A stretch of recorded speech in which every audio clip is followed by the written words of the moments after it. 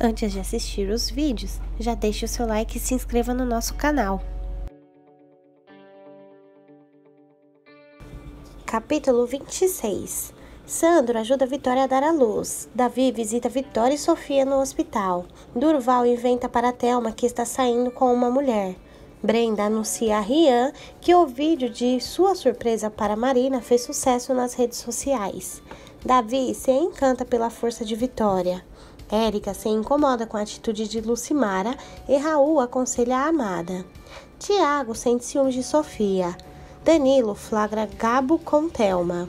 Lídia comenta detalhes com Estela, que comemora o sucesso de seu plano de vingança.